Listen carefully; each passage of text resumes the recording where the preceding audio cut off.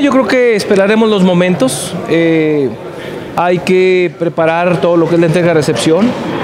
Una vez que esté lista, está a disposición cuando los tiempos legales marquen para hacer ya el encuentro entre el grupo de enlace del municipio con el grupo de recepción que así lo tenga bien determinar la siguiente administración.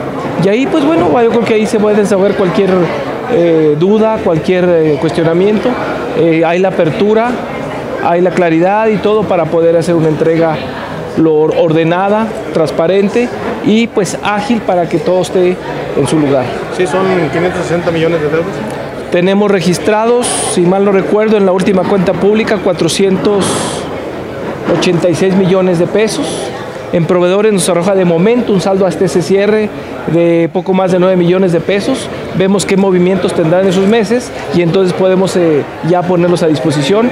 En la, no, todavía nos va a tocar cerrar la segunda, eh, la última cuenta pública de esta administración y ahí pues está a disposición de todos ustedes. Decía que al momento de recibir su constancia inmediatamente se pondría en contacto con usted para iniciar esa, ese proceso de entrega-recepción.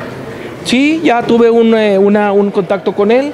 Eh, lo veo en la disposición, en una parte muy amable, entonces en ese sentido eh, los tiempos están bien marcados, la conformación de los grupos, que es lo inicial, tanto el de el enlace del municipio como el, eh, el grupo de recepción y con toda la apertura, como digo, con toda la el orden, este, apegado a la legalidad, creo que ahí se van a desjugar cualquier duda.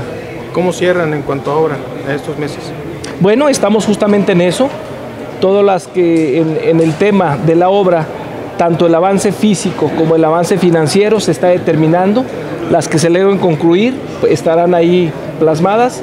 Las que estén en proceso se entregará en esos dos términos, avance físico, avance financiero, eh, lo que resta para concluirla, porque efectivamente terminamos una administración en los tiempos que marca la ley, que será para finales de agosto, y, pero el ejercicio fiscal continúa hasta final de año y en ese sentido pues la siguiente administración tendrá pues eh, la plataforma para poder concluir las siguientes obras. En cuanto al tema de las bandas estudiantiles que ya están por iniciar, eh, ¿tienen